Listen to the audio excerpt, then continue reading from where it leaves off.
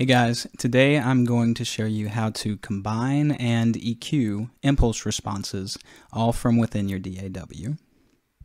So I'm starting with a, a guitar amp simulator called Chameleon, which I developed. And on top of that, I have a impulse response loader called uh, Pulse. It uh, does everything that you need an impulse response player to do. And then I have uh, ReaEQ, which is a visual um, graphical EQ plugin that comes with Reaper. So just to show you that this is what the plugin sounds like without um, any impulse response. Which sounds pretty good, um, but if we add an impulse response, it has that uh, cabinet uh, effect loaded on it. It sounds like it's playing out of a real amplifier.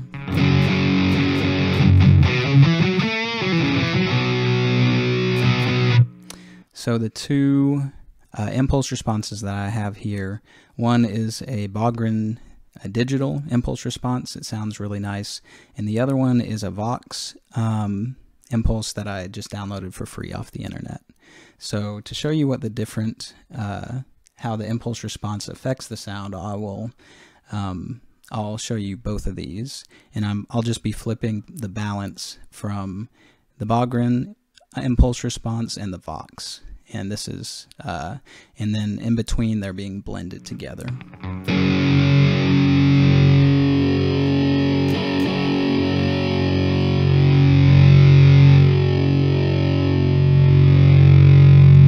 So you can see how the impulse response really affects the uh, the EQ and um, really how the guitar, uh, really the guitar sound. It, it can really change it a lot.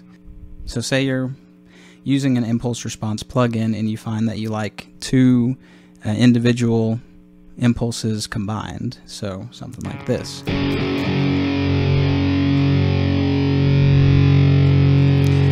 So now, now we're hearing qualities of both uh, impulse responses. But say you want to uh, combine that into a single impulse response that you can then load into any any loader. Um, well, we can easily do that uh, impulse responses are just wave files. So anything you can um, do with with audio files within the DAW, you can do that to impulse responses. So uh, what we're going to do is take those impulse responses and uh, just mix them together.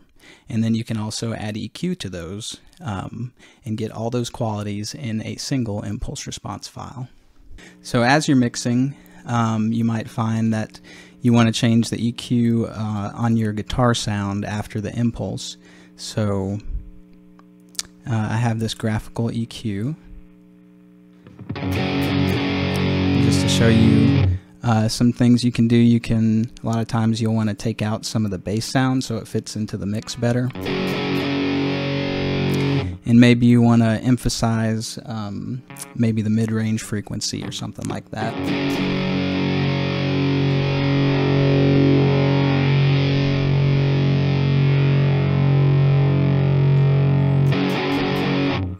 So I'll just leave it like this as an example, and then we're going to apply this to our combined impulse response, and then print that to a single impulse response with all of those qualities. All right, uh, I put my guitar up for now. We'll get it back in a minute. Um, but I also wanted to mention that in this EQ, I wanted to uh, save the work I did um, finding, I didn't do much, but um, when you're mixing something and you find that EQ that you like, um, you can save it as a preset, which I did so we can bring it back for applying it to our combined impulse response. So now I've opened a new project which just has uh, two blank tracks and I have my uh, impulse responses somewhere in this mess. Let's see, impulse responses. So these are the two, the Bogren digital impulse and the Vox. And I'm just going to drag and drop each one into this track. Um, and they're very short uh, impulse responses. You really have to zoom in um, to be able to see them most likely. Um, now, when I this is really important. When I bring these into Reaper, it automatically puts this um, uh, this fade in at the beginning, you want to take that out because that's where the most important um, part of the impulse response is the very beginning. So I'm going to make sure and remove those. And you can do them at the end. It's not as important uh, as doing it at the beginning. So here are the, two impulse responses as wave files. Um, another thing you want to check for when combining is are they in phase, which uh, basically just look at the first two, the first peak, um, and make sure that they're mostly in line. If they are out of line, like if I slide this to the right, and this first peak is uh, a mismatch with the one on top, then you're going to get some uh, cancellation of uh, the audio and the impulse, and it's going to sound very flat. So I'm just going to leave this as is. I might be able to make that a little better, but let's just leave it like this for now. Okay, so to combine two impulse responses, all you have to do is sum them together. So I am going to uh, render these out to a single file, and that's it. Uh, the only thing is you need to make sure that um, the rendered file doesn't have any clipping. So I'm going to reduce the volume on both of these. Uh, there's probably a more scientific way to get exactly uh, half level on each of them, but I'm just reducing it in this track control. So now I'm going to go to File, Render, and it, it'll be a little bit different depending on your DAW, but again, this is uh, Reaper, is what I usually use. So I'm going to render this uh, 44.1 mono wave 32-bit floating point. You want to take out any extra data. There's no no tail, no tempo information, uh, so you don't want that. Make sure it's mono, and uh, make sure you put it in the right spot. I'm going to put it in that same folder with the impulse responses and I'm just going to call it IR combined. Okay, and render that.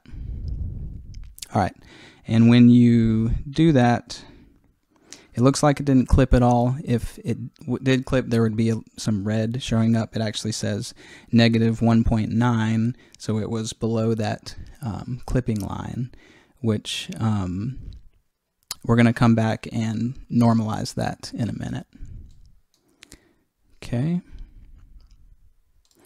So now uh, I can get rid of these two and I will bring in our combined impulse response, our combined, and again get rid of that first fade in if your DAW puts that in there. Get rid of the second track. And this now has all the information from both impulse responses, um, about 50% contributing to the final sound for each each impulse. And you can change that um, that ratio. You can have more sound from one than the other. Maybe change the volume to 25% and 75% if you want more um, balanced in in one direction. Uh, okay, so what I want to do now is uh, normalize this, and I think I know where this is. Okay, so I want to normalize this track so that um, the peak is at 1. And that's important so that the, uh, the impulse response isn't too quiet.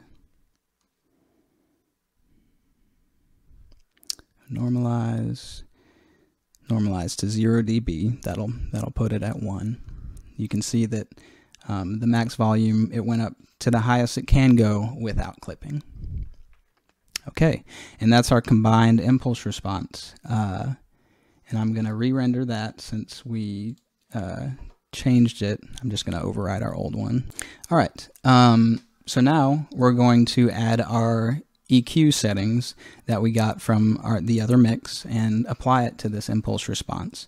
And then we'll get that same uh, EQ out when we load this new IR uh, in our IR loader. So I'll just add the uh, ReaEQ effect that you saw before. And uh, load our preset EQ example. So that's that's what we had before. And I'm going to make sure to apply it to our impulse response. It's on, and I'll just render that out to a new impulse response. IR combined, I just call that IR combined EQ and render. And it actually shows negative 4.8 dB because of our EQ. It took some of the volume out of that. So um, off camera, I'm going to come back in and normalize that, the same thing we did before. All right, I've got my guitar back, and we are back in the um, session that we had before with the, uh, the amplifier, the impulse response loader, and the EQ. Um, and so now I'm going to compare our combined and EQ'd IR with the ones that's load that are loaded in this. All right, so um, before we had the the Bogren Digital and the Vox impulse response with the EQ, and that's what this sounds like. And that's uh, halfway balance, so 50%, 50%. Now I'm going to um, take off the EQ and I'm going to move the balance just to one IR and I'm going to load our IR combined EQ and this is this is the file the new file that was normalized to one and see what that sounds like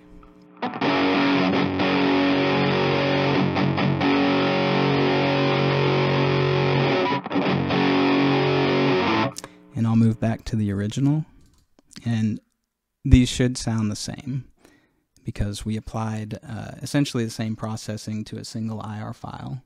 And um, because it's a WAV file, you can you can simply sum them together.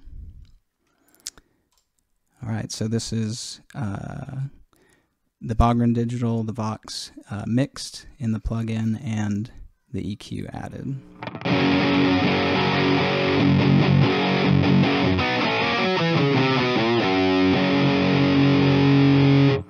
And now I'm going to take off the EQ.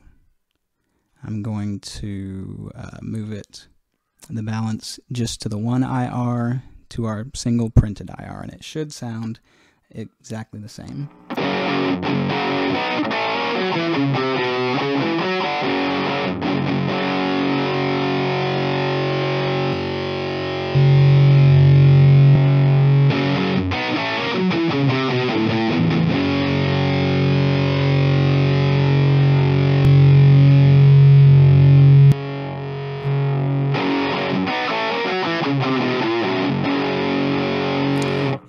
Think it does. Maybe you guys can tell me if it doesn't, but it sounds the same to my ears.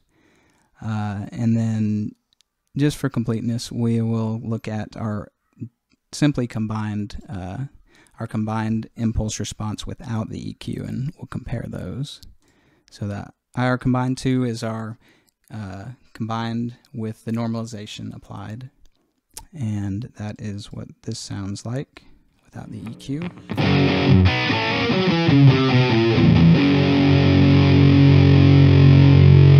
And now we'll compare that to um, the two running through the plugin.